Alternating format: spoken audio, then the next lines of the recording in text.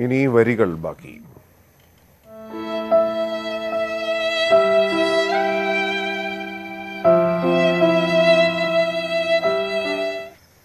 തുടക്കത്തിൽ സൂചിപ്പിച്ച പോലെ തന്നെ അനിൽ ചുരാലിന്റെ വിടവാങ്ങൽ തന്നെയാണ് ഏറ്റവും പ്രധാനമായി വരുന്ന റിപ്പോർട്ട്. നമുക്ക് നോക്കാം.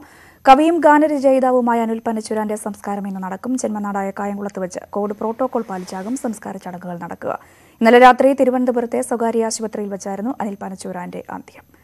വിവരങ്ങളുമായി എസ് എസ് ശരണാണ് ചേരുന്നത്. ശരൺ എങ്ങനെയാണ് ഏറ്റവും പുതിയ വിശദാംശങ്ങൾ? കോവിഡ് പ്രോട്ടോകോൾ പാലിച്ചാണ് സംസ്കാര ചടങ്ങുകളെല്ലാം എപ്പോഴായിരിക്കും മൃതദേഹം കായംകുളത്തേക്ക് കൊണ്ടുപോവുക? അനിൽ പനച്ചൂരാന്റെ മൃതദേഹം നിലവിൽ തിരുവനന്തപുരത്തെ സ്വകാര്യ ആശുപത്രിയിലാണ് ഉള്ളത്.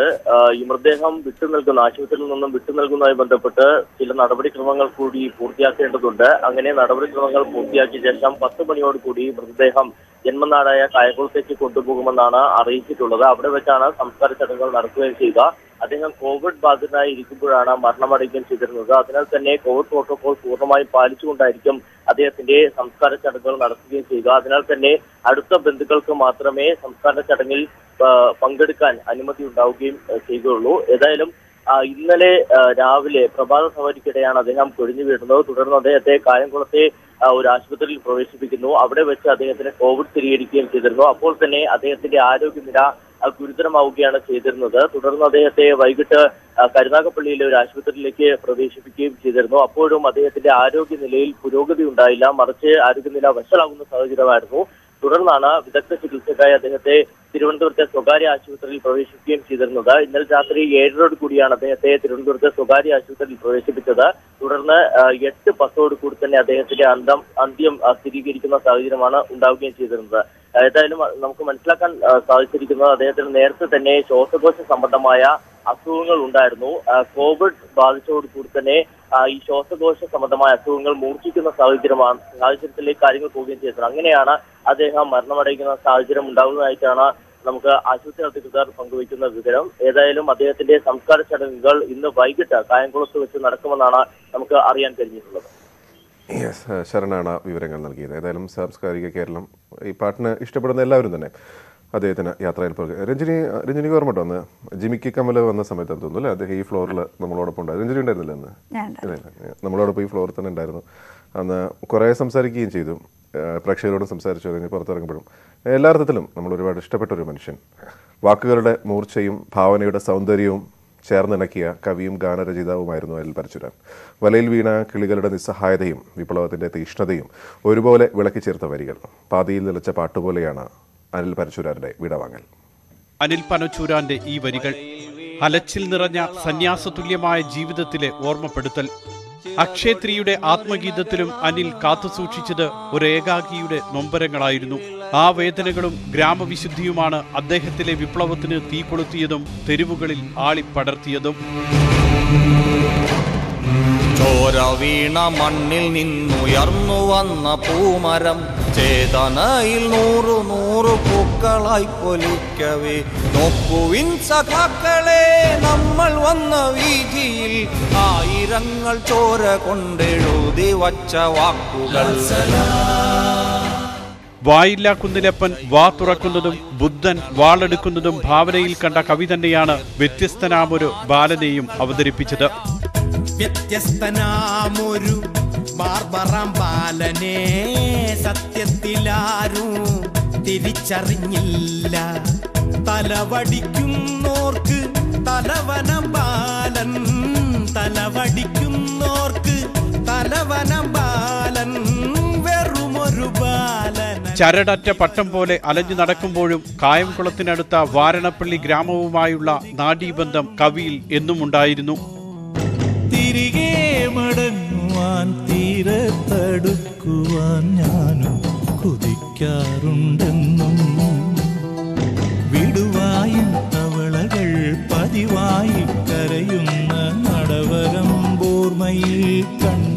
ഇനിയും ഏറെയുണ്ട് താണ്ടാനെന്നും വിഴി തെളിച്ച് നടക്കണമെന്നും പറഞ്ഞു തന്ന കവി തന്നെയാണ് ജിമിക്കി കമലിലൂടെ നാടിനെ ഇളക്കിമറിച്ചത്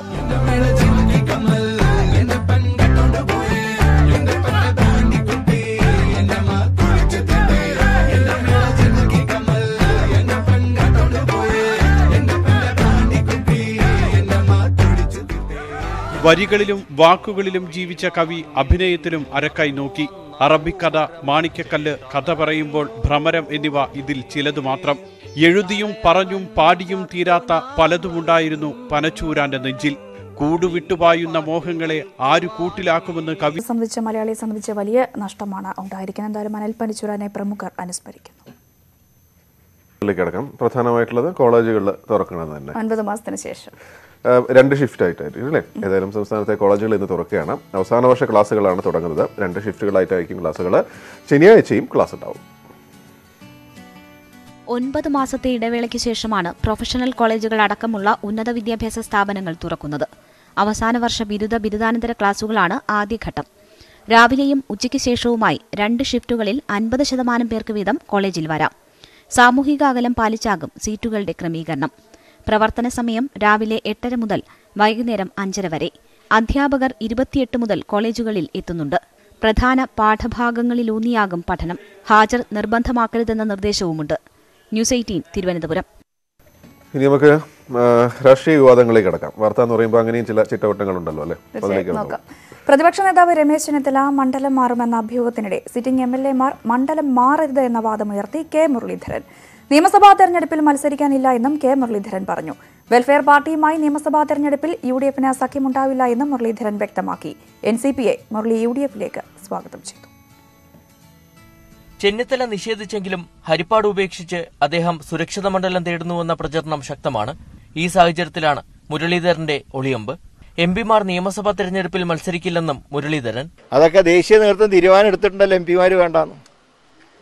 അതുപോലെ തന്നെ സിറ്റിംഗ് എം എൽ എമാർ സീറ്റ് മാറി മത്സരിക്കേണ്ടെന്നുള്ളതും ഒരു വികാരമാണ് യു ഡി എഫിലേക്ക് പി സി ജോർജോ പി സി തോമസോ വരാൻ താൽപര്യമുണ്ടെങ്കിൽ നോ എൻട്രി ബോർഡ് വയ്ക്കില്ല. ഉമ്മൻചാണ്ടി യു ഡി എഫ് നേതൃത്വത്തിലേക്ക് വരുന്നുവെന്ന വാർത്തകളോട് കെ മുരളീധരന്റെ പ്രതികരണം ഇങ്ങനെ. അദ്ദേഹത്തിന് എന്ത് പോസ്റ്റ് കൊടുത്താലും പാർട്ടിക്ക് നേട്ടം തന്നെയാണ്. എന്ത് പോസ്റ്റ് അദ്ദേഹത്തിന് കൊടുത്താലും പാർട്ടിക്ക് അസറ്റാണ് വെൽഫെയർ പാർട്ടിയുമായി നിയമസഭാ തെരഞ്ഞെടുപ്പിൽ ഒരു തരത്തിലുമുള്ള നീക്കുപോക്കുണ്ടാകില്ലെന്നും കെ മുരളീധരൻ ആവർത്തിച്ചു. News eighteen Thiruvananthapuram. V V അരുണാണ് ആ വിവരങ്ങളുമായി ചേരുന്നത്. അരുൺ നിലവിൽ ഏത് എം എൽ എമാർ ആ മണ്ഡലത്തിൽ നിന്നും മറ്റൊരു മണ്ഡലത്തിലേക്ക് വരരുത് എന്നുള്ളത് വികാരമാണ്.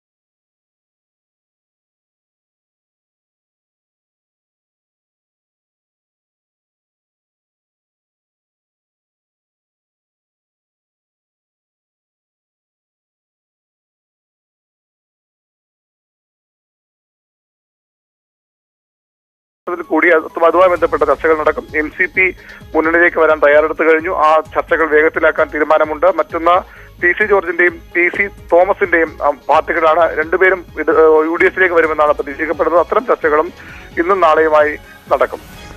യെസ് അരുണാണ് വിവരങ്ങൾ നൽകിയത്. അരുൺ പറഞ്ഞതുപോലെ പോലെ തന്നെ കോൺഗ്രസ് സംഘടന അഴിച്ചുപണിയിലും യു ഡി എഫ് വിപുലീകരണത്തിലും നിർണായകമായ ചർച്ചകളാണ് ഇന്ന് നടക്കുന്നത്. താരീഖ് അൻവർ തലസ്ഥാനത്തെത്തി. കെ പി സി ഭാരവാഹികളുമായി അദ്ദേഹം ഇന്ന് ചർച്ചകൾ നടത്തും. വിശദാംശങ്ങളിലേക്ക്. K P C C vice പ്രസിഡന്റുമാർ ജനറൽ സെക്രട്ടറിമാർ എന്നിവരുമായുള്ള കൂടിക്കാഴ്ചയിൽ തെരഞ്ഞെടുപ്പ് അവലോകന റിപ്പോർട്ടിൽ അന്തിമ ചർച്ച നടക്കും. ശുപാർശകളുടെ അടിസ്ഥാനത്തിൽ ഡി സി സി തലം വരെയുള്ള അഴിച്ചുപണിയിലും തീരുമാനമുണ്ടാകും. ഉമ്മൻചാണ്ടി നേതൃനിരയിൽ സജീവമാകണമെന്ന യു ഡി എഫ് ഘടകകക്ഷികളുടെ അഭിപ്രായം കണക്കിലെടുത്ത് അദ്ദേഹത്തെ യു ഡി എഫ് ചെയർമാനാക്കാനാണ് നീക്കം. തെരഞ്ഞെടുപ്പ് പ്രചാരണ സമിതി അധ്യക്ഷ സ്ഥാനവും ഉമ്മൻചാണ്ടിക്ക് തന്നെയാകും. ഇപ്പോൾ രമേശ് ചെന്നിത്തലയ്ക്കാണ് യു ഡി എഫ് ചെയർമാന്റെ ചുമതല. പുതിയ സ്ഥാനങ്ങളിലേക്ക് ഉമ്മൻചാണ്ടി എത്തുന്നതോടെ നേതൃനിരയിൽ അദ്ദേഹം സജീവമായി എന്ന പ്രതീതി ഉണ്ടാകുമെന്നാണ് കണക്കുകൂട്ടൽ നിയമസഭാ തെരഞ്ഞെടുപ്പിൽ ഉമ്മൻചാണ്ടിയും രമേശ് ചെന്നിത്തലയും മുല്ലപ്പള്ളി രാമചന്ദ്രനും ഒറ്റക്കെട്ടായി കോൺഗ്രസിനെ നയിക്കണമെന്നാണ് ഹൈക്കമാൻഡിന്റെ അഭിപ്രായം we will work together. Entire leadership, entire leadership will, work together. Don't worry. I, I am for, the, I came for that purpose only. U D എഫിന് നഷ്ടപ്പെട്ട പരമ്പരാഗത വോട്ടുകൾ തിരിച്ചുപിടിക്കാനും നടപടികളുണ്ടാകും എൻ സി പിയുടെ യു ഡി എഫ് പ്രവേശനത്തിലേക്കാണ് കാര്യങ്ങൾ എത്തുന്നത്. താരിഖ് അൻവറിന്റെ മുൻകാല എൻ സി പി ബന്ധവും മുന്നണി മാറ്റ ചർച്ചകൾക്ക് വേഗം കൂട്ടും. News eighteen Thiruvananthapuram. താരിഖ് അൻവറിന്റെ ഈ പ്രശ്ന പരിഹാരവുമായി ബന്ധപ്പെട്ട ചർച്ചകൾ പുരോഗമിക്കുന്നു. മുരളീധരന്റെ പരസ്യ പ്രസ്താവനകൾ മറ്റൊരു വശത്ത് വരുമ്പോഴാണ് കോൺഗ്രസിൽ തലമുറ മാറ്റം ആവശ്യപ്പെട്ട് യൂത്ത് കോൺഗ്രസും രംഗത്തെത്തുന്നു. പാലക്കാട് മലമ്പുഴയിൽ നടന്ന യൂത്ത് കോൺഗ്രസ് സംസ്ഥാന ക്യാമ്പിലാണ് നേതൃതലത്തിൽ അഴിച്ചുപണി വേണമെന്ന ആവശ്യമുയർന്നത് വരുന്ന നിയമസഭാ തെരഞ്ഞെടുപ്പിൽ പുതുമുഖങ്ങൾക്ക് പ്രാധാന്യം നൽകണമെന്നും സ്ഥാനാർത്ഥി നിർണയത്തിന് ഏജ് ഓഡിറ്റിംഗ് നടപ്പാക്കണമെന്നും യൂത്ത് കോൺഗ്രസ് ആവശ്യപ്പെടുന്നു രണ്ട് ദിവസമായി മലമ്പുഴയിൽ നടന്ന യൂത്ത് കോൺഗ്രസ് സംസ്ഥാന ക്യാമ്പിൽ കോൺഗ്രസ് സംസ്ഥാന നേതൃത്വത്തിനെതിരെ രൂക്ഷമായ വിമർശനമാണ് ഉയർന്നത്. മുൻപ് തലമുറ മാറ്റം ആവശ്യപ്പെട്ട് നേതൃസ്ഥാനത്ത് വന്നവർ ഇപ്പോൾ പുതിയ തലമുറയ്ക്ക് അവസരം നൽകാൻ തയ്യാറാകുന്നില്ല. നേതൃത്വത്തിൽ അഴിച്ചുപണി ആവശ്യമാണെന്നും യൂത്ത് കോൺഗ്രസ് ആവശ്യപ്പെട്ടു. ആദ്യം അടിയന്തരമായിട്ടുള്ള അഴിച്ചുപണി സമീപനത്തിലാണ് വേണ്ടത്. പാർട്ടിയുടെ തെരഞ്ഞെടുപ്പിനെ സംബന്ധിച്ച് റിസൾട്ടിനെ സംബന്ധിച്ച് മുന്നൊരുക്കങ്ങളെ സംബന്ധിച്ചൊക്കെയുള്ള സമീപനത്തിലാണ് പിന്നെ അടിമുടി മാറ്റം ആദ്യം അനിവാര്യമായിട്ട് വരുന്നത്. ആ സമീപനം ഇപ്പോഴുള്ള സംവിധാനം വെച്ച് മാറ്റാൻ കഴിയാത്ത സാഹചര്യമാണെങ്കിൽ ആ സമീപനമുള്ള ആളുകളെ നേതൃത്വത്തിലേക്ക് കൊണ്ടുവരാൻ സംബന്ധിച്ച് അത് ഇപ്പോഴുള്ള നേതാക്കന്മാർക്ക് തന്നെ കൂടിച്ചേർന്നെടുക്കാവുന്ന തീരുമാനമേ ഉള്ളൂ. വരുന്ന നിയമസഭാ തെരഞ്ഞെടുപ്പിൽ പുതുമുഖങ്ങൾക്കും യുവാക്കൾക്കും കൂടുതൽ പ്രാതിനിധ്യം വേണം. ഗ്രൂപ്പിനേക്കാൾ വിജയസാധ്യതയ്ക്ക് പ്രാധാന്യം നൽകണമെന്നും അംഗങ്ങൾ ആവശ്യപ്പെട്ടു. ജനങ്ങൾക്ക് താല്പര്യമുള്ള ഇപ്പോൾ യൂത്ത് കോൺഗ്രസ്സുകാരാണെങ്കിലും യുവാക്കളാണെങ്കിലും നേരത്തെ പറഞ്ഞതുപോലെ ത്രിതല പഞ്ചായത്തുകളിൽ പ്രാവീണ്യം കാണിച്ച ആളുകളാണെങ്കിലും നമുക്കൊരു സ്ഥലത്ത് ചെല്ലുമ്പോൾ ജനങ്ങൾക്ക് താല്പര്യമുള്ള സ്ഥാനാർത്ഥി ആരാണെന്നറിയാം. അങ്ങനെയുള്ള സ്ഥാനാർത്ഥികളെ മത്സരിപ്പിക്കണം. അതിൽ തന്നെ പറഞ്ഞതിന്റെ ഉത്തരവുണ്ടല്ലോ. തദ്ദേശ തെരഞ്ഞെടുപ്പിൽ വിജയിച്ച യുവജനപ്രതിനിധികളുടെ സംഗമം ഈ മാസം പതിനൊന്നിന് തിരുവനന്തപുരത്ത് ചേരും. സ്ഥാനാർത്ഥി നിർണയവുമായി ബന്ധപ്പെട്ട് ഏജ് ഓഡിറ്റിംഗ് നടത്തി കോൺഗ്രസ് നേതൃത്വത്തിന് റിപ്പോർട്ട് നൽകുമെന്നും യൂത്ത് കോൺഗ്രസ് വ്യക്തമാക്കി. News eighteen Palakkad. തുടരുന്നു. അത്യാവശ്യം പ്രധാനപ്പെട്ട വാർത്തകൾ രാഷ്ട്രീയ വാർത്തകൾ നമ്മൾ നോക്കിക്കഴിഞ്ഞു. ഇനി നമ്മുടെ ഗുഡ് മോർണിംഗ് കേരളത്തിന്റെ സ്പെഷ്യൽ സ്റ്റോറികളിലേക്ക് വരാം. കേരളം തമിഴ്നാട് ഉൾപ്പെടെ അഞ്ച് സംസ്ഥാനങ്ങളിൽ ആസന്നമായിരിക്കുന്ന തെരഞ്ഞെടുപ്പ് സംബന്ധിച്ച ആശങ്കയിലാണ് രാജ്യത്തെ മുഖ്യധാര രാഷ്ട്രീയ പാർട്ടികളെല്ലാം. എന്നാൽ ഒരു രാഷ്ട്രീയ പാർട്ടിക്കും ഒട്ടും ആശങ്കയില്ലാത്ത ഒരു തെരഞ്ഞെടുപ്പ് നടപടിക്ക് രാജ്യത്ത് നാളെ തുടക്കമാവും. എൺപതിനായിരത്തിലധികം ആളുകൾ ഈ പാർലമെന്റ് തെരഞ്ഞെടുപ്പിൽ വോട്ട് ചെയ്യുന്നുണ്ട്. ആ വോട്ട് വിശേഷം എന്താണെന്ന് നോക്കാം.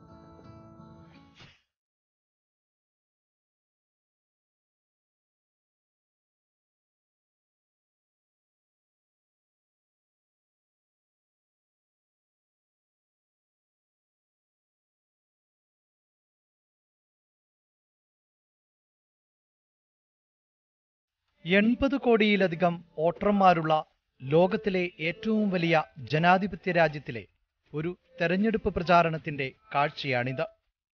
ഇവിടുത്തെ എൺപതിനായിരത്തിലധികം വരുന്ന വോട്ടർമാരാണ് പാർലമെന്റ് തെരഞ്ഞെടുപ്പിൽ സമ്മതിദാനാവകാശം വിനിയോഗിക്കുന്നത്. എന്നാൽ അത് തിബറ്റ് അഭയാർത്ഥി സർക്കാരിനെ തെരഞ്ഞെടുക്കാനാണെന്ന് മാത്രം.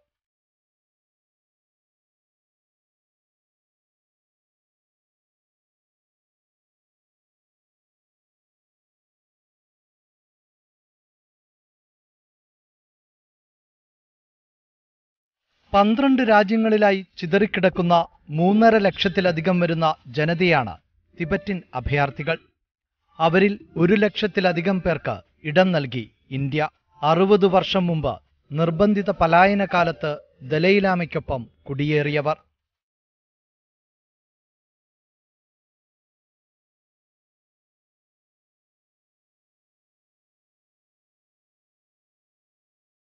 ഇപ്പോൾ ഈ ജനത പാർലമെന്റ് തെരഞ്ഞെടുപ്പ് തിരക്കിലാണ്. പ്രാഥമിക ഘട്ടത്തിൽ ഏറ്റവുമധികം വോട്ട് ലഭിക്കുന്ന രണ്ടു പേർ അന്തിമ പോരാട്ടത്തിനിറങ്ങും. വിജയിക്കുന്ന പ്രധാനമന്ത്രിക്ക് തുല്യനായ സിക്കിയോങ് പാർലമെന്റ് അംഗങ്ങളെ ഉൾപ്പെടുത്തി അഭയാർത്ഥി സർക്കാർ രൂപീകരിക്കും. തിരഞ്ഞെടുപ്പിൽ ഏറ്റവും വിജയപ്രതീക്ഷ പുലർത്തുന്ന സ്ഥാനാർത്ഥി കസൂർ ഗ്യാരി ഡോൾമ പറയുന്നു.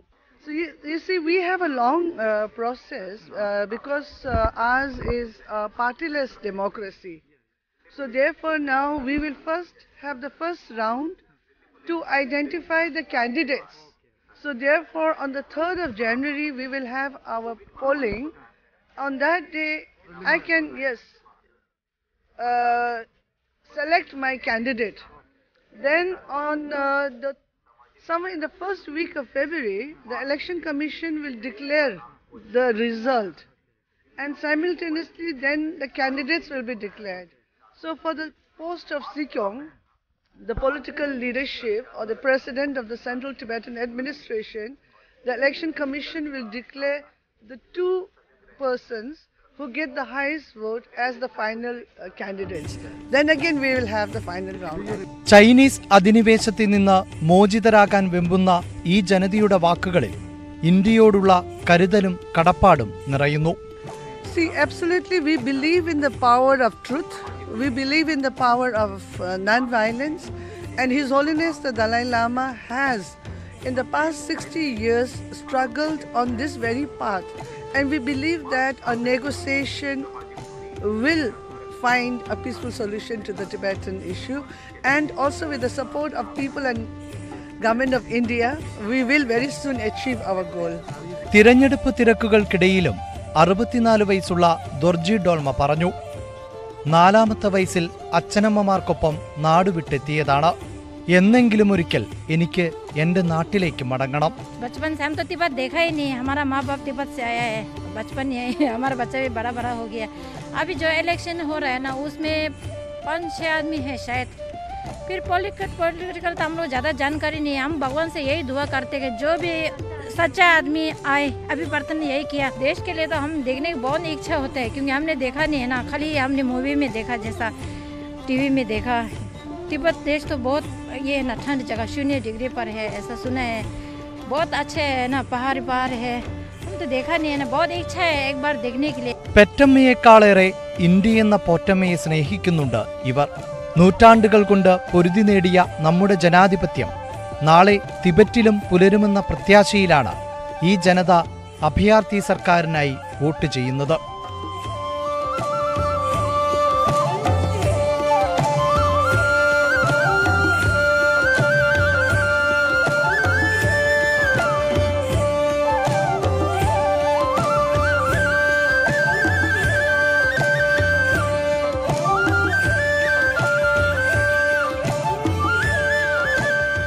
അഭയാർത്ഥികളെങ്കിലും സ്വാതന്ത്ര്യമെന്തെന്ന് അനുഭവിച്ചറിയുന്നുണ്ട് ഇവർ ഇവിടെ. എങ്കിലും പിറന്ന മണ്ണ് ഒരിക്കൽ സ്വതന്ത്രമാകുമെന്ന പ്രതീക്ഷയിലാണ് ഇവരിപ്പോഴും. തിബറ്റിൻ മൊണസ്റ്റി മാർക്കറ്റിൽ നിന്നും cameraman Binu ബേസിലിനൊപ്പം K P Abhilash news eighteen Delhi. അപ്പോൾ അതാണ് ടിബറ്റ് തിരഞ്ഞെടുപ്പ് വിശേഷങ്ങൾ. രാജ്യതലസ്ഥാനത്ത് മറ്റ് കർഷക സമരം ഇങ്ങനെ ശക്തി പ്രാപിച്ച് മുന്നോട്ട് പോകുകയാണ് സങ്കടം തോന്നും. ഭയങ്കര മഴയും. കാറ്റുമായിരുന്നു അവരുടെ ഒരു അവസ്ഥ തണുപ്പും ഇങ്ങനെ കൂടി കൂടി വരികയാണ്. നമുക്ക് ഇന്ന് രാവിലെ തണുപ്പ് സഹിക്കാൻ പറ്റില്ല. അപ്പൊ അവർക്ക് അതും പ്രായമായ ആൾക്കാരെ. സ്ത്രീകൾ വലിയ കഷ്ടമാണ് അവരുടെ കാര്യം. ഏതായാലും ഒത്തുതീർപ്പാക്കാനുള്ള സംഘടനാ നേതാക്കളുമായി ഇന്ന് കേന്ദ്ര സർക്കാർ ഇന്ന് വീണ്ടും ചർച്ച നടത്തുന്ന സാഹചര്യമുണ്ട്. വിജ്ഞാൻ ഭവനിൽ ഉച്ചയ്ക്ക് രണ്ട് മണിക്കാണ് ചർച്ച നടത്തുക. കേന്ദ്ര കൃഷിമന്ത്രി നരേന്ദ്രസിംഗ് തോമർ റെയിൽ മന്ത്രി പീയൂഷ് ഗോയൽ എന്നിവരുടെ നേതൃത്വത്തിലുള്ള ചർച്ചയിൽ നാൽപ്പതോളം കർഷക സംഘടനാ പ്രതിനിധികൾ പങ്കെടുക്കും. കർഷക സമരം നാൽപ്പതാം ദിവസത്തിലേക്കും കടന്നു. അതിശൈത്യത്തെയും കനത്ത മഴയെയും അവഗണിച്ച് കർഷക സമരം തുടരുന്നതിനിടെയാണ് ഇന്ന് വീണ്ടും ചർച്ച നടക്കുന്നത്. ഡിസംബർ മുപ്പത്തിയൊന്നിന് നടത്തിയ ചർച്ചയിൽ വൈദ്യുതി ഭേദഗതി ബിൽ രണ്ടായിരത്തി ഇരുപതിന്റെ കരട് പിൻവലിക്കാനും കാർഷിക അവശിഷ്ടം കത്തിക്കുന്നത് നിയന്ത്രിക്കുന്ന വായു മലിനീകരണ ഓർഡിനൻസിൽ മാറ്റം വരുത്താനും കേന്ദ്ര സർക്കാർ സമ്മതിച്ചിരുന്നു. എന്നാൽ കാർഷിക പരിഷ്കരണ നിയമങ്ങൾ പിൻവലിക്കണം താങ്ങുവില നിയമപരമാക്കണം തുടങ്ങിയ ആവശ്യങ്ങളിൽ സമവായമായില്ല. ഇന്നത്തെ ചർച്ച പരാജയപ്പെട്ടാൽ മറ്റന്നാൾ മുതൽ ഇരുപതാം തീയതി വരെ രാജ്യത്തെ വിവിധ ഭാഗങ്ങളിൽ പ്രതിഷേധം നടത്തുമെന്ന് കർഷക സംഘടനകൾ വ്യക്തമാക്കിയിട്ടുണ്ട്. കുണ്ട്ലി മനേസർ പൽവാൾ ദേശീയപാതയിലൂടെ മാർച്ച് ആരംഭിക്കും. ഷാജഹാൻപൂർ അതിർത്തിയിൽ നിന്ന് പ്രതിഷേധക്കാർ ഡൽഹിയിലേക്ക് നീങ്ങും. റിപ്പബ്ലിക് ദിനത്തിൽ എല്ലാ സംസ്ഥാന തലസ്ഥാനങ്ങളിലും ട്രാക്ടർ മാർച്ച് നടത്തും. ഡൽഹിക്കകത്തും ട്രാക്ടർ മാർച്ച് സംഘടിപ്പിക്കും. ജനുവരി പതിനെട്ടിന് വനിതകൾ അണിനിരക്കുന്ന പ്രതിഷേധം നടത്തുമെന്നും കർഷക സംഘടനാ നേതാക്കൾ അറിയിച്ചിട്ടുണ്ട്. News eighteen Delhi. നമ്മൾ എല്ലാ ദിവസവും നമ്മുടെ ഷോയിൽ പരിചയപ്പെടേണ്ട ചില വ്യക്തികൾ ജനങ്ങൾ കാണേണ്ട ചില വ്യക്തികളെ പരിചയപ്പെടുത്താറുണ്ട്. അത്തരത്തിലൊരാളിലേക്കാണ് നമ്മൾ പോകുന്നത്. കൃഷി ചെയ്യാൻ എന്താണ് വേണ്ടത്? സ്ഥലം വേണം വിത്ത് വേണം എന്നൊക്കെയാകും പലരുടെയും മറുപടി. എന്നാൽ ഈ ചോദ്യം വേങ്ങര ഊരകം പുല്ലഞ്ചാലിലെ കാരാട് അരുണിനോട് ചോദിച്ചാൽ അദ്ദേഹം കൃഷിയിടം കാണിച്ചു തരും. വിത്തും വളവും സ്ഥലവും ഒന്നുമല്ല മനസ്സാണ് ആദ്യം വേണ്ടത് എന്ന് തെളിയിക്കുകയാണ് അദ്ദേഹം. അമ്പത്തിരണ്ടുകാരനായ ഈ ഭിന്നശേഷിക്കാരൻ.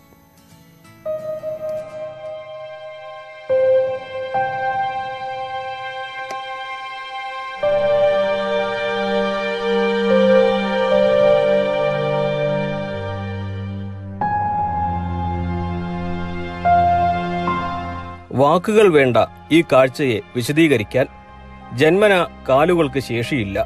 വ്യക്തമായി സംസാരിക്കാനാവില്ല. പരസഹായമില്ലാതെ ഒരു ഗ്ലാസ് വെള്ളം പോലും കുടിക്കാൻ പറ്റില്ല. പക്ഷേ അരുൺകുമാർ ഒറ്റയ്ക്കാണ് ഇവിടെ അൻപത് വാഴ വെച്ചത്. ഇത് ആദ്യമായല്ല അരുൺ കൃഷി ചെയ്യുന്നത്. മറ്റൊരാൾ പാട്ടത്തിനെടുത്ത സ്ഥലത്തിൽ കുറച്ചു ഭാഗത്ത് അരുണിന്റെ ആഗ്രഹം മനസ്സിലാക്കി കൃഷി ചെയ്യാൻ അനുവദിക്കുകയായിരുന്നു. അതിരാവിലെ തുടങ്ങും അരുൺ കൃഷിയിടത്തിൽ അധ്വാനം. ചെറിയ സഹായമൊക്കെ ഒപ്പമുള്ളവർ ചെയ്തു നൽകും നിലമൊരുക്കലും വാഴക്കന്ന് നടലും പിന്നീട് തടം തീർക്കലുമെല്ലാം അരുൺ തന്റെ ശാരീരിക പരിമിതികളെ മറികടന്ന് ചെയ്യുന്നു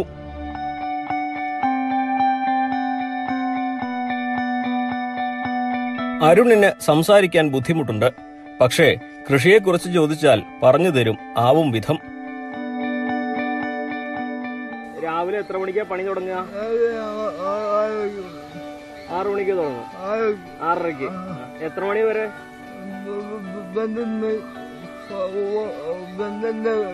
ഉച്ച വരെ പോകും അല്ലേ? അമ്മ മാധവിക്കുട്ടിയും സഹോദരന്റെ ഭാര്യ സരിതയും പറയുന്നു അരുണിന്റെ സ്വപ്നങ്ങളും ആഗ്രഹങ്ങളും ഒരു ഇലക്ട്രോണിക് വീൽചെയർ. അതാണ് ഇദ്ദേഹത്തിന്റെ ഇപ്പോഴത്തെ വലിയ സ്വപ്നം.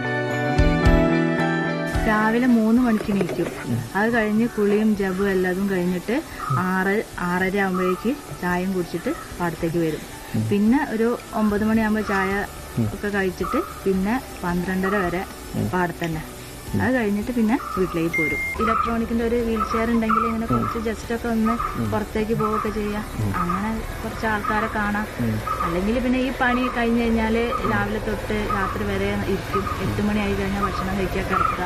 അപ്പൊ അങ്ങനെ കുറച്ച് വൈകുന്നേരങ്ങളിലൊക്കെ ഒന്ന് പുറത്തേക്ക് ഇറങ്ങാനൊക്കെ അങ്ങനെ ഒരു നേരുണ്ടെങ്കിൽ പിന്നെ പോവാനും കഴിയുന്നാണ് ഏട്ടൻ പറയുന്നത്. വർഷങ്ങളായി അരുൺ ഇതുപോലെ കൃഷി ചെയ്യാൻ തുടങ്ങിയിട്ട് കൃഷി വകുപ്പും അരുണിന്റെ പരിമിതികൾ അറിഞ്ഞ് സഹായിക്കുന്നുണ്ട് കൂടെ നിൽക്കുന്നുണ്ട്. നമ്മുടേതായിട്ടുള്ള കർഷക ദിനത്തിലൊക്കെ ശരിക്കും മറ്റു കർഷകരെക്കാളും ആദരിക്കപ്പെടേണ്ടതാണ് എന്നുള്ളതുകൊണ്ടാണ് നമ്മൾ ആദരിച്ചിട്ടുണ്ട്. പിന്നെ ഈ ഒരു സ്ഥലം കിട്ടാൻ വേണ്ടിയിട്ടുള്ളൊരു ശ്രമം നമ്മൾ ഞാനും കൂടെ നടത്തി നോക്കിയിട്ടുണ്ട്. പക്ഷെ വളരെ ബുദ്ധിമുട്ടായതുകൊണ്ട് എന്തായാലും ഭാഗ്യവശാൽ ഇപ്രാവശ്യം സ്ഥലം കിട്ടിയത്. ഇപ്പോൾ ഇപ്രാവശ്യം ജനകീയാസൂത്രത്തിൽ പദ്ധതിയിലെ ആനുകൂല്യങ്ങൾ അവരുടെ പേര് തന്നെയാണ് അവരുടെ അക്കൗണ്ടിൽ തന്നെയാണ് പോവുക. അതെല്ലാ വർഷവും കഴിഞ്ഞ വർഷം ഒഴിച്ച് എല്ലാ വർഷവും കൃഷിയുള്ള എല്ലാ വർഷങ്ങളിലും ആനുകൂല്യങ്ങൾ കൊടുത്തിട്ടുണ്ട്. അരുൺ ഒരു ഊർജമാണ് പ്രചോദനമാണ്. ശരീരമല്ല മനസ്സാണ് എല്ലാത്തിനും അടിസ്ഥാനവും കരുത്തുമെന്ന് തെളിയിക്കുകയാണ് അരുൺ തന്റെ ജീവിതത്തിലൂടെ. അഖിലോട്ടുപാറയ്ക്കൊപ്പം C B Anumod news eighteen.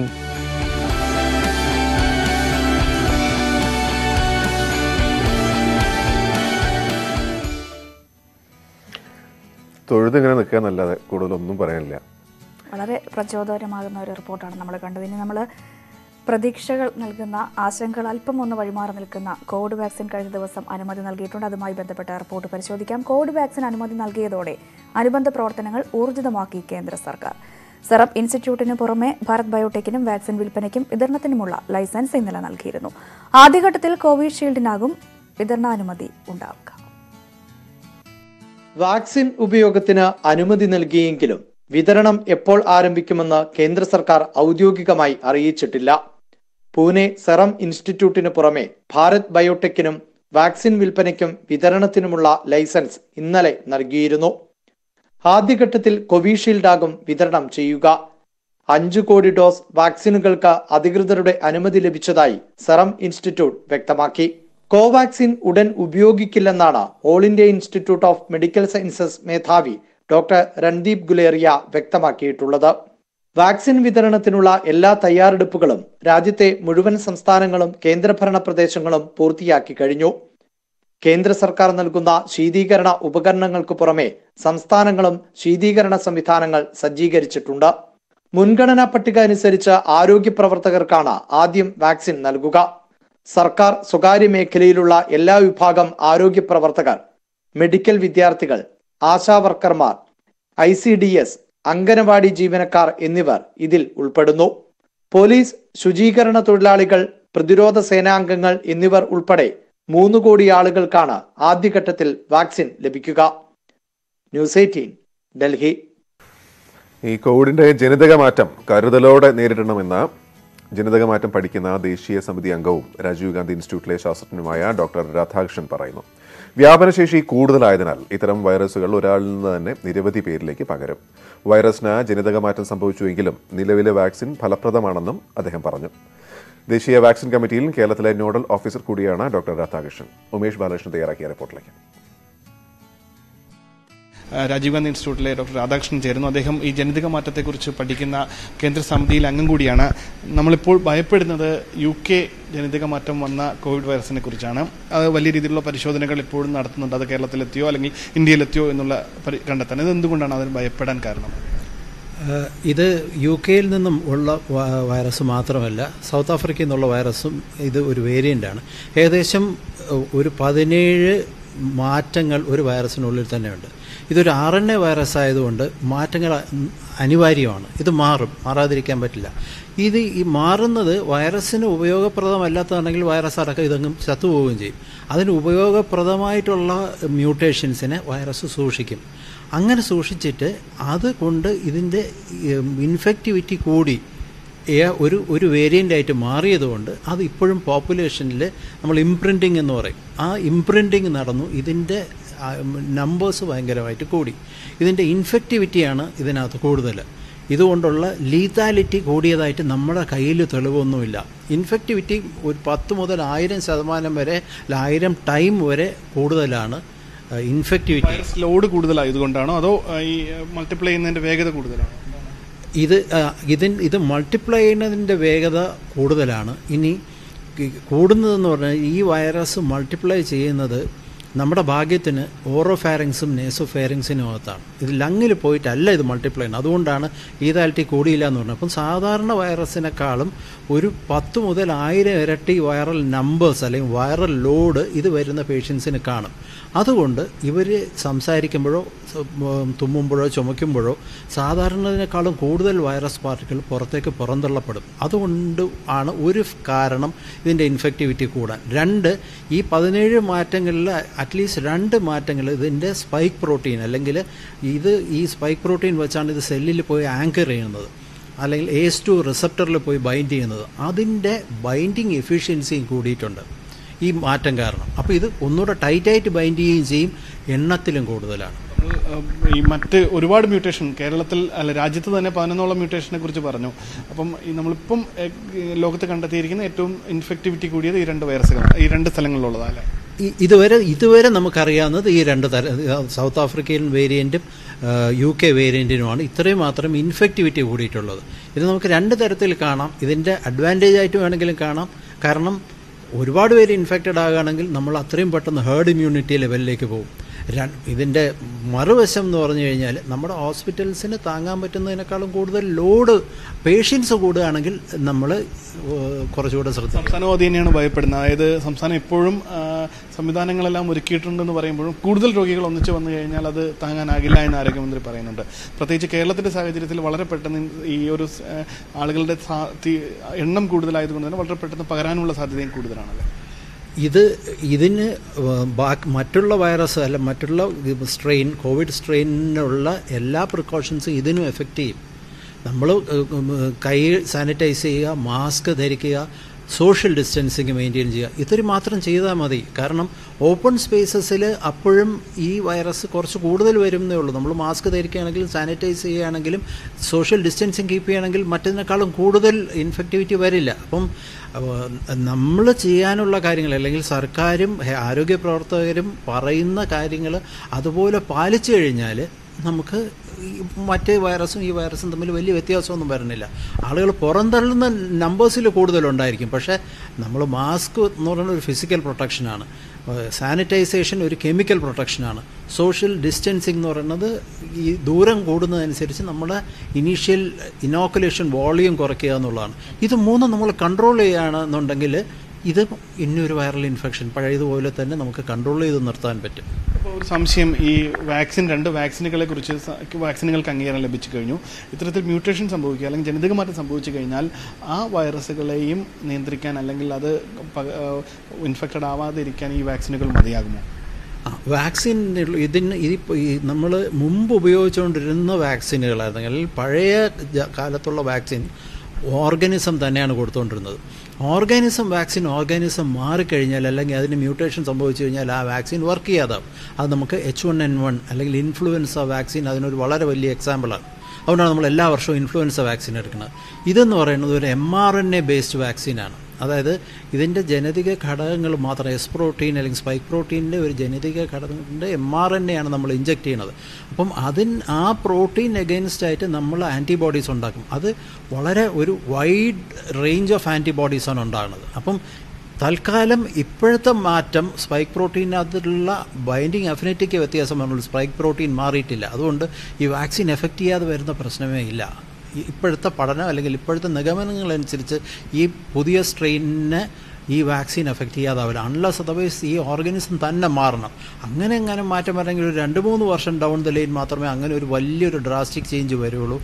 ഇപ്പോഴത്തെ വ്യത്യാസം വെച്ചിട്ട് നമ്മൾ ഓർഗനിസം അല്ല നമ്മൾ വാക്സിൻ ഉപയോഗിക്കണമെന്നുള്ളത് കൊണ്ടും അതായത് M R N A vaccine ആയതുകൊണ്ടും ഈ വാക്സിന്റെ എഫിഷ്യൻസിക്ക് വ്യത്യാസമൊന്നും വരില്ല. ആശങ്കപ്പെടേണ്ട കാര്യമില്ല. നമ്മുടെ കേരളത്തിൽ കണ്ടെത്തിയ അല്ലെങ്കിൽ കേരളത്തിൽ അഫക്റ്റ് ചെയ്ത വാക്സിന് അല്ല ക്ഷമിക്കണം വൈറസുകളുടെ ജനിതക മാറ്റം. അത് ഏതൊക്കെ രീതിയിലുള്ള ജനിതക മാറ്റം വന്ന വൈറസുകൾ കോവിഡ് വൈറസുകൾ കേരളത്തിലുണ്ടായിരുന്നു? അത്തരത്തിലെങ്കിലും പഠനം നടന്നിട്ടുണ്ടോ?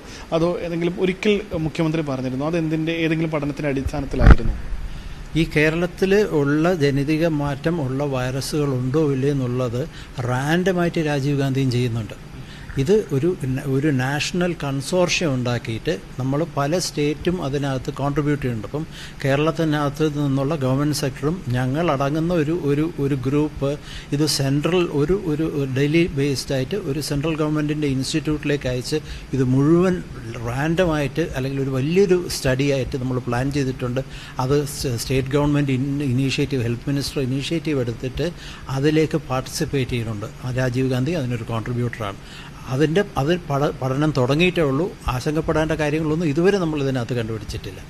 നന്ദി. എന്തായാലും സാർ പറഞ്ഞതുപോലെ നിലവിലെ സാഹചര്യത്തിൽ ആരോഗ്യ പ്രവർത്തകർ നൽകുന്ന നിർദ്ദേശങ്ങൾ മാസ്ക് സാനിറ്റൈസർ അവ കൃത്യമായി ഉപയോഗിക്കേണ്ട രീതിയിൽ ഉപയോഗിക്കുക. ഒപ്പം കോവിഡ് വാക്സിനെ നിലവിൽ ഉപയോഗിക്കാൻ അനുവാദം നൽകിയിരുന്ന കോവിഡ് വാക്സിൻ ഉള്ളത് കൊണ്ട് തന്നെ ആ വാക്സിൻ ഉപയോഗിച്ചതിന് ശേഷം മ്യൂട്ടേഷൻ വന്ന വൈറസ് അത് ശരീരത്തിൽ ബാധിക്കുമെന്നുള്ള ആശങ്ക അത്തരം ആശങ്കകൾ വേണ്ട എന്നും ഡോക്ടർ രാധാകൃഷ്ണൻ പറയുന്നു.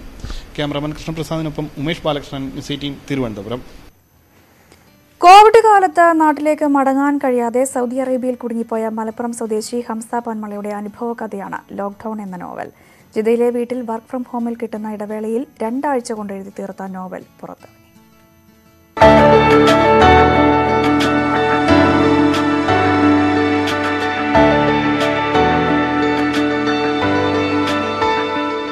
കോവിഡ് കാലത്ത് നിരവധി പ്രവാസികൾ നാട്ടിലേക്ക് മടങ്ങാനാവാതെ ഗൾഫിൽ കുടുങ്ങിയിരുന്നു. അതിലൊരാളാണ് മലപ്പുറം പൊന്മള സ്വദേശി ഹംസ. ഭാര്യയുടെ അടുത്തേക്ക് മകളെ ജിദ്ദയിൽ നിന്ന് വിമാനത്തിൽ നാട്ടിലേക്ക് അയച്ചു. താൻ രണ്ടാഴ്ച കഴിഞ്ഞ് നാട്ടിലെത്തുമെന്ന് ഹംസ ഭാര്യയെ അറിയിക്കുകയും ചെയ്തു. ഇതിനിടെ കോവിഡ് പടർന്നു. ലോക്ക്ഡൗൺ പ്രഖ്യാപിച്ചു. വിമാന സർവീസുകൾ നിലച്ചു. ഹംസ ജിദ്ദയിലെ വീട്ടിൽ ലോക്കായി. ബഹുരാഷ്ട്ര കമ്പനിയിൽ ഹെഡ് ഓഫ് ട്രേഡ് ആയ ഹംസയ്ക്ക് പിന്നീട് വർക്ക് ഫ്രം ഹോം ദിനങ്ങളായിരുന്നു. ഇതിനിടെയാണ് നോവൽ രചനയിലേക്ക് കടന്നത്. രണ്ടാഴ്ചയ്ക്കകം ലോക്ക്ഡൗൺ എന്ന നോവൽ എഴുതി തീർത്തു. കോവിഡ് പശ്ചാത്തലത്തിലുള്ള ആദ്യ മലയാളം നോവൽ അങ്ങനെ യാഥാർത്ഥ്യമായി.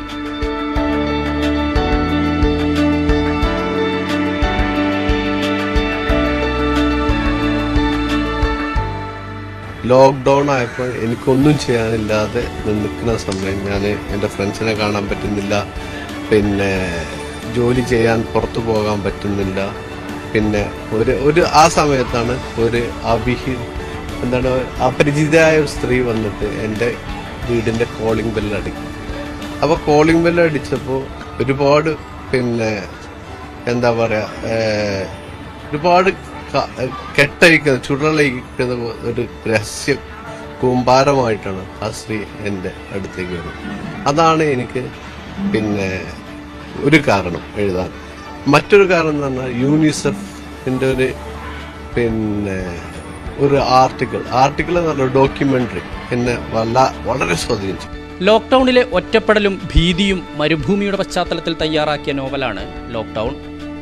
ഹൊറർ പരിസരത്തിൽ മേരിയുടെയും ആൽവിന്റെയും ജീവിതമാണ് നോവലിന്റെ ഇതിവൃത്തം. മഹാമാരി കാലത്ത് നാട് എന്ന സുരക്ഷിതത്വത്തിന്റെ തണൽ പറ്റുന്ന പ്രവാസിയുടെ മനസ്സാണ് നോവലിന്റെ കഥാപരിസരമെന്ന് അവതാരികയിൽ ശിഹാബ് പൊയ്ത്തുംകടവ് കുറിക്കുന്നു. ഇരുപത്താറ് വർഷമായി ജിദ്ദയിലാണ് ഹംസ പൊന്മള. രണ്ടാഴ്ച മുമ്പാണ് നാട്ടിലെത്തിയത്. കോഴിക്കോട് അളകാപുരിയിൽ വെച്ച് എഴുത്തുകാരൻ ടി പത്മനാഭനാണ് നോവൽ പ്രകാശനം ചെയ്തത്. കണ്ണൂർ ന്യൂ ബുക്സാണ് തൊണ്ണൂറ്റഞ്ച് പേജുള്ള നോവലിന്റെ publisher. Cameraman Swaroop നിവേദിക്കൊപ്പം S Vinesh Kumar news eighteen Kozhikode.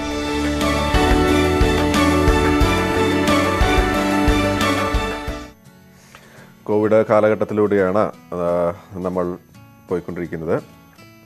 വാക്സിനേഷനിലൂടെ കോവിഡിന് ഒറ്റക്കെട്ടായി ചെറുക്കാനുള്ള തയ്യാറെടുപ്പിലാണ് രാജ്യം. സഞ്ജീവനി ക്യാമ്പയിനിലൂടെ നെറ്റ്വർക്ക് എയ്റ്റീനും ഈ പോരാട്ടത്തിൽ നിങ്ങൾക്കൊപ്പം ചേരുന്നു. ഒരാൾ സുരക്ഷിതനല്ലെങ്കിൽ ആരും സുരക്ഷിതരല്ല എന്നതാണ് സഞ്ജീവനി ക്യാമ്പയിന്റെ ആപ്തവാക്യം.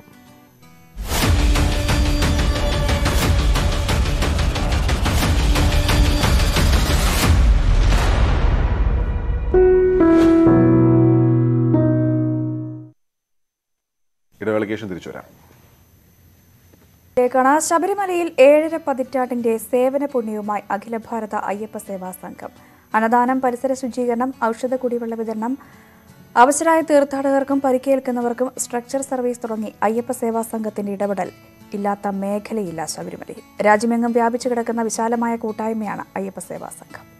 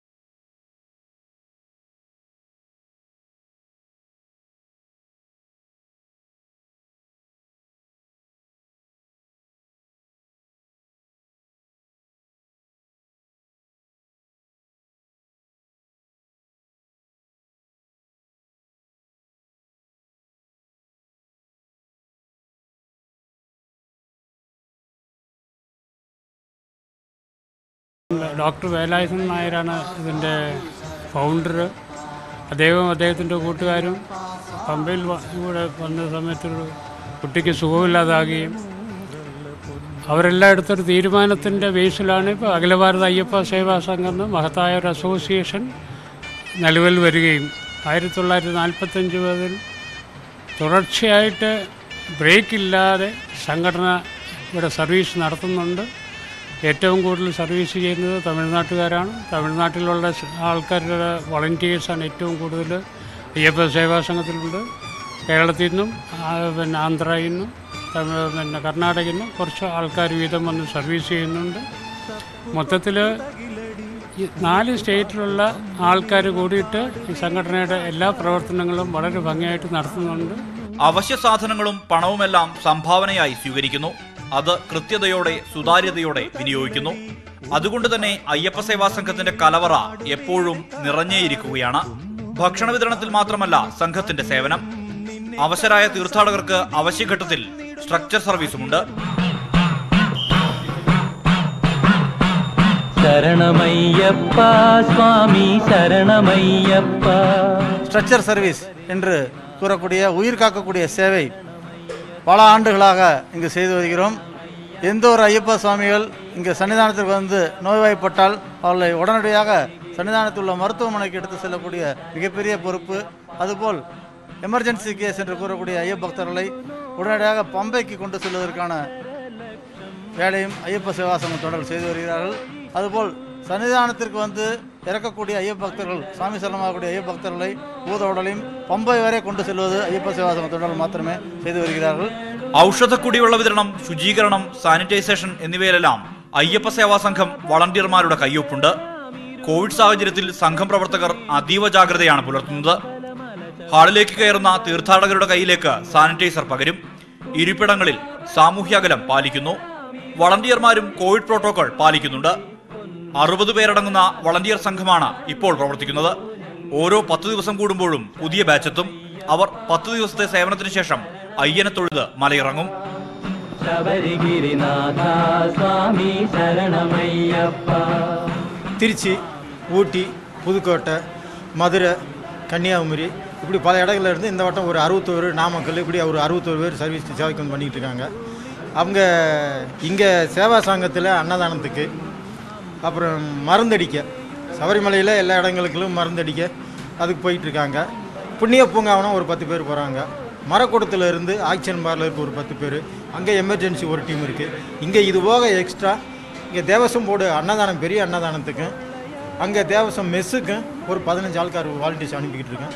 எல்லாம் சேர்த்து நான் பண்ணிட்டு இருக்கேன். இது வரைக்கும் நாலு டெஸ்டர் போயிருக்கேன். ஒரு ஆள் ஒரு டெத் ஆகி ஒரு ஆள் கொண்டு பம்பா சேர்த்துருக்கேன். மற்றபடி சுக்கு வெள்ளம் ஊற்றிக்கிட்டு இருக்கேன். எல்லா சாமிமாருக்கும் இங்கே எந்த பணியாக இருந்தாலும் சாமிமாருக்கு எது நடந்தாலும் சாமிமார் மாத்திரம் இல்லை இங்கே சபரிமலையில் யாருக்கு எது பாதிப்பு ஏற்பட்டாலும் உ- அவங்களுக்கு உதவி பண்ணுறதுக்கு நாங்கள் தயாராக இருக்கோம் భోజనం అంటే plate plate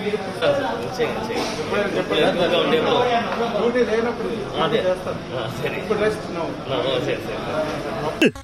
Best Cat 1200 plus reporters, 66.9 crore viewers, India's largest news network, News 18 Network.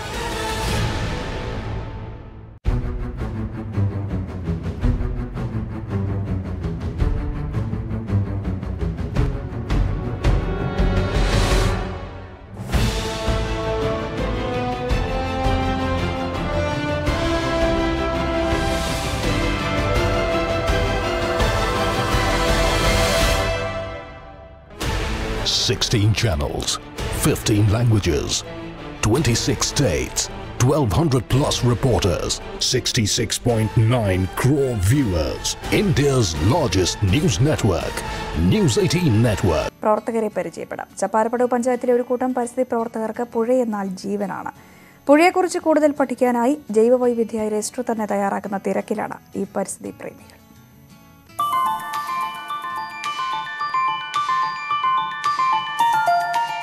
മാലിന്യങ്ങൾ വലിച്ചെറിഞ്ഞും പുഴയോരം കയ്യേറിയും പടർന്നു പന്തലിച്ച മരങ്ങൾ മുറിച്ചുമാറ്റിയുമെല്ലാം പുഴയെ കൊല്ലാനാണ് പലർക്കും താൽപ്പര്യം എന്നാൽ ചപ്പാരപ്പടവിലെ മണാട്ടിപ്പുഴയും പുഴയോരവും കഴിഞ്ഞ നാൽപ്പത് വർഷമായി ഇങ്ങനെയൊക്കെയാണ്.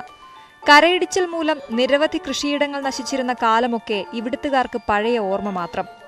പരിസ്ഥിതി പ്രവർത്തകൻ കെ സി ലക്ഷ്മണൻ തുടങ്ങിവെച്ച പുഴ സംരക്ഷണ പ്രവർത്തനങ്ങൾ നാല് പതിറ്റാണ്ടായി ഒരു മുടക്കവുമില്ലാതെ ഇവിടെ നടക്കുന്നു. പുഴയെക്കുറിച്ച് കൂടുതൽ പഠിക്കാനായി ജൈവ വൈവിധ്യ രജിസ്റ്റർ തന്നെ തയ്യാറാക്കുന്ന തിരക്കിലാണ് ഈ പരിസ്ഥിതി പ്രേമികൾ.